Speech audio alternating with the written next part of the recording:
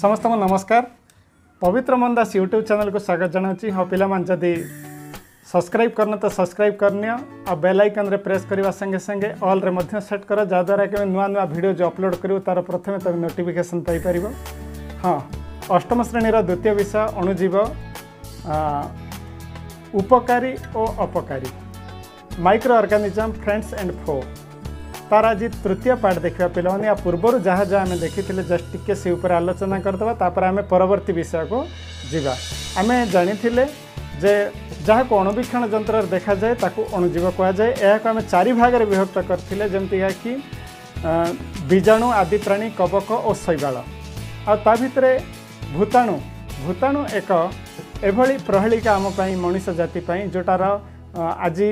ମଣିଷ ଏହାର ପ୍ରକୃତ ୟା ଉପରେ ପରୀକ୍ଷା କରିପାରୁନି ଆଜି ସାରା ବିଶ୍ୱକୁ ଯଦି କୌଣସି ଛୋଟ ଜୀବ ପୁରା ବାନ୍ଧିକି ରଖିଛି ବା ସମସ୍ୟା ଭିତରେ ମଣିଷ ସମାଜକୁ ନେଇଯାଇଛି ତ ତାହା ହେଉଛି ଏଇ ଭାଇରସ୍ ବା ଏଇ ଭୂତାଣୁ ତ ତାର ପରେ ମଧ୍ୟ ଆମେ ଦେଖିଥିଲେ ଯେ ମାନବ ସମାଜ ପାଇଁ ଏହା କେମିତି ଆମେ ବିଭିନ୍ନ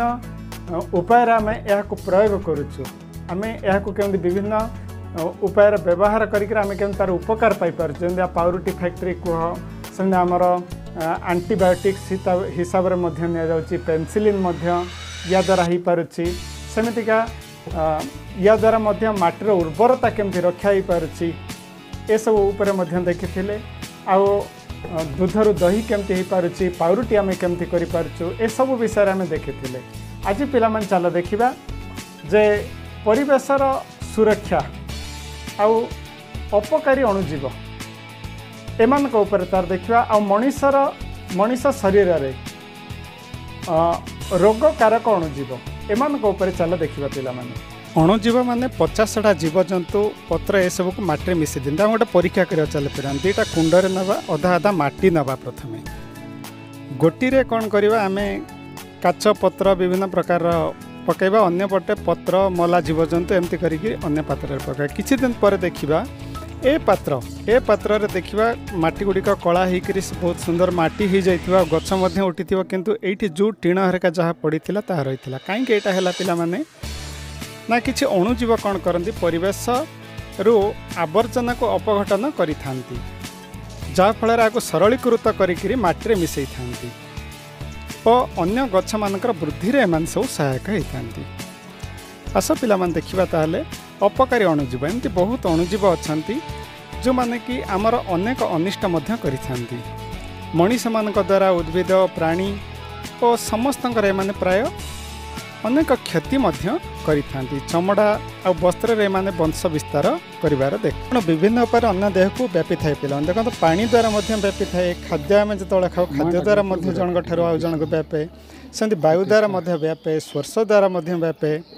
ବାୟୁ ଯେତେବେଳେ ଆମେ ପ୍ରଶ୍ୱାସ ନେଉ ପିଲାମାନେ ସେତେବେଳେ ମଧ୍ୟ ଦେଖ ପ୍ରଶ୍ୱାସ ନେଲାବେଳେ ମଧ୍ୟ ରୋଗ ଜୀବାଣୁ ଶରୀର ଭିତରକୁ ଯିବାର ସମ୍ଭାବନା ଥାଏ ଯେତେବେଳେ ଆମେ ଛିଙ୍କି ଥାଉ ପିଲାମାନେ ରୋଗୀ ଯେତେବେଳେ ଛିଙ୍କେ ସେଇଟା ବାୟୁମଣ୍ଡଳରେ ମିଶେ ବା ଛେପ ଖଙ୍କାର ଯେତେବେଳେ ବାହାରେ ପକାଏ ତାହା ଯାଇ ଅନ୍ୟ ଶରୀରରେ ପ୍ରବେଶ କରିଥାଏ ବାୟୁମଣ୍ଡଳରୁ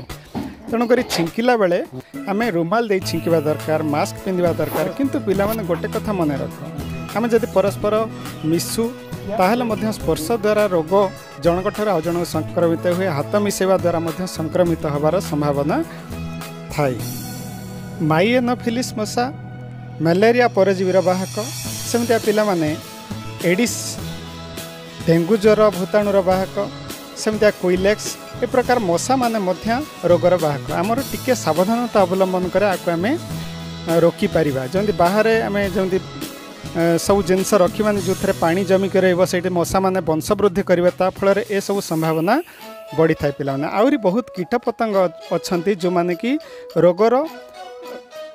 गोटे जगार रोगर भूटाणु आ जीवाणु को जनक अन्य जनक पाख नहीं था हईजा जमीती मछी जमी रोगी बसी थाए छेप खारे जय खाद्य बसे जो आम खाइले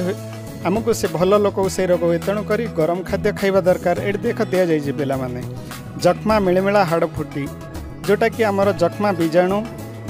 मिलमिला भूताणु जो मैंने कि वायु द्वारा व्यापी था जक्मा मिलमिला ସହିତ ହାଡ଼ଫୁଟି ଆଉ ପୋଲିଓ ଏମାନେ ବାୟୁ ଆଉ